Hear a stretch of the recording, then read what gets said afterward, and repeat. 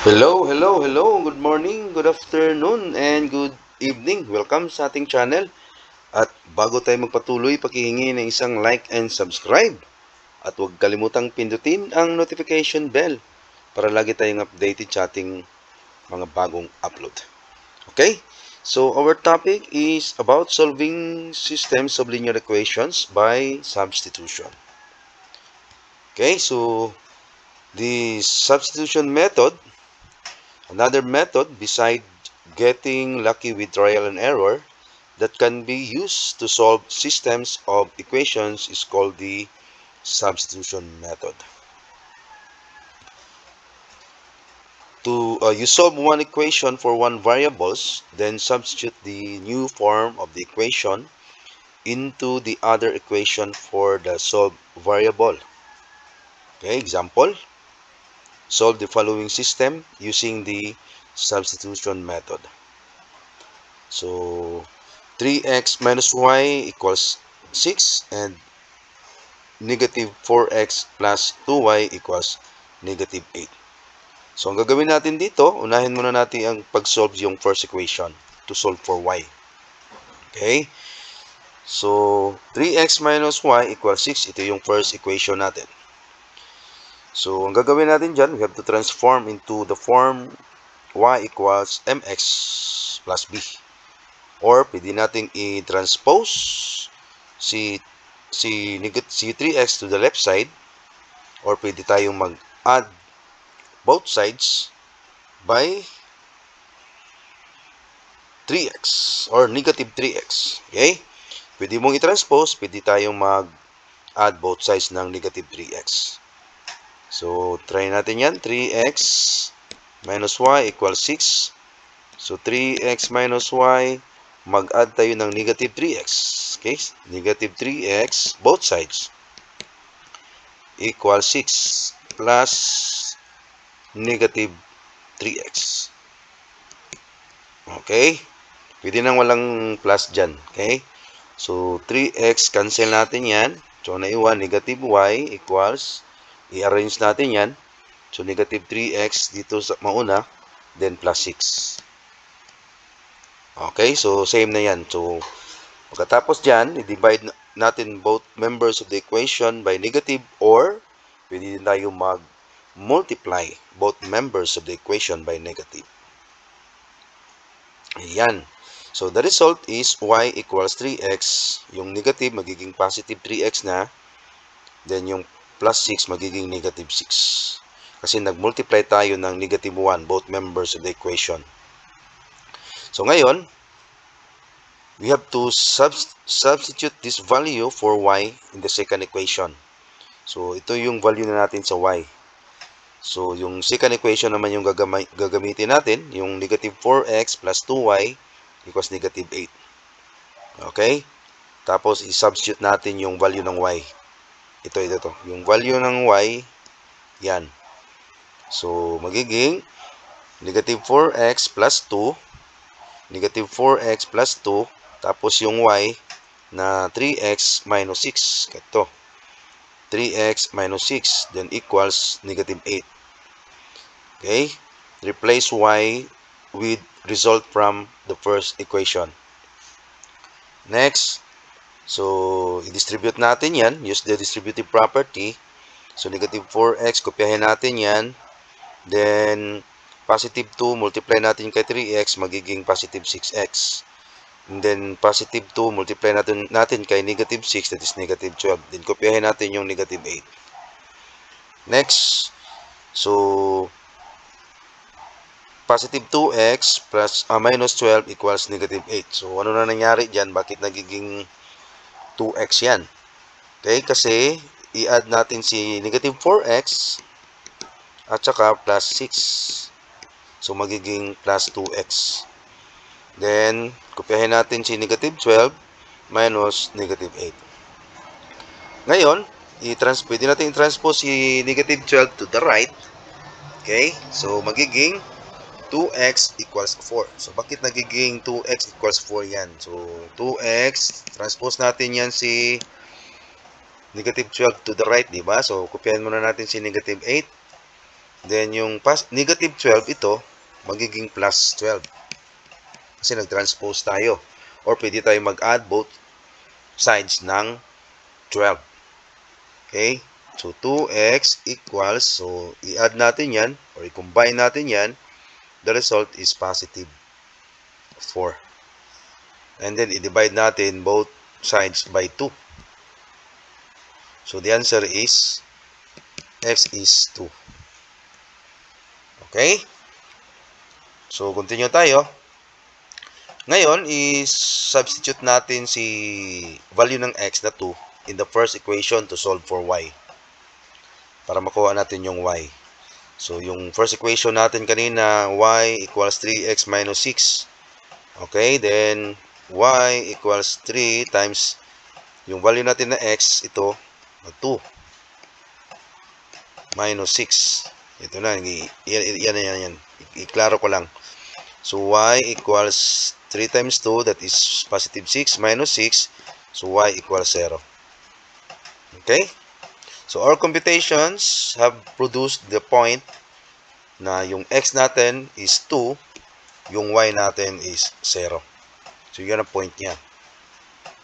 So, i-check natin.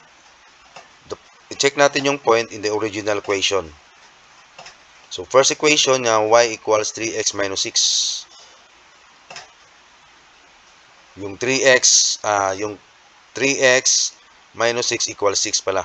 Uh, ah, 3x minus y equals 6. So, 3, tapos yung value ng x na 2, tapos minus 0, equals 6. So, multiply yan, 6 is equal to 6. So, true. Yung isa, yung second equation, Si negative 4x plus 2y equals negative 8. So, i-substitute pa rin natin yan, yung value ng x na positive 2. Okay? So, negative 4 tapos 2 yung x plus 2 tapos 0 ang y equals negative 8. So, multiply yan, negative 8 plus 0 equals negative 8. So, negative 8 equals negative 8. So, true pa rin yan. Tapos, okay, so, ano yun, may explanation yun ah. Okay, solving a system of linear equation by substitution method. Number one, so, solve one of the equations for the variable or for a variable. Number two, substitute the expression from step 1 into the other equation. Number 3, solve the new equation. And last is substitute the value found in the step 3 into the into either equation containing both variables. Ay, number, may number 5 pa pala, sorry. Check the proposed solution in the original equation. So, another example. Solve the following system of equations using the substitution method. So, first equation is y equals 2x minus 5 and second equation is 8x minus 4y equals 20. So, since itong first equation ay nasa form ng y equals mx plus b or solved na yan. Since the first equation is already solved for y. So, substitute this value in the second equation. So, second equation na tayo. Tapos, yung value ng y, ito. 2x minus 5.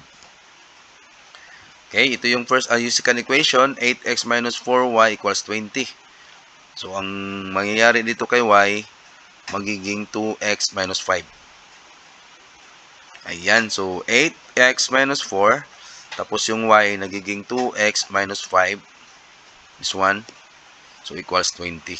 So, nag-replace lang yung y with the result from the first equation.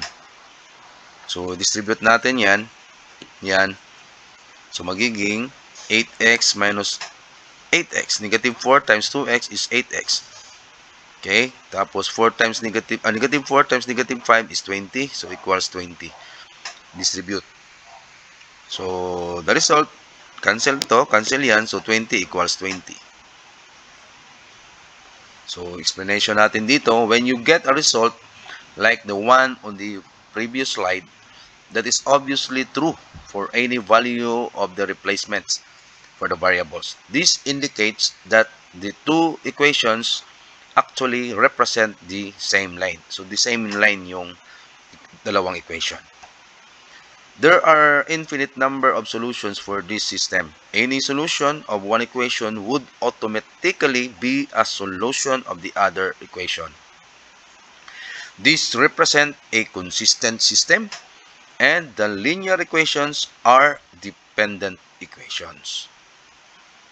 Okay, another example, solve the following system of the equations using the substitution method.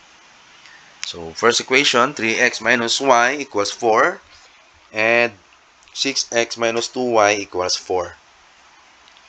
So, we have to solve first the first equation to solve for y. Okay? So, ito yung first equation natin, 3x minus y equals 4. So, same pa rin yung ginagawa natin kanina.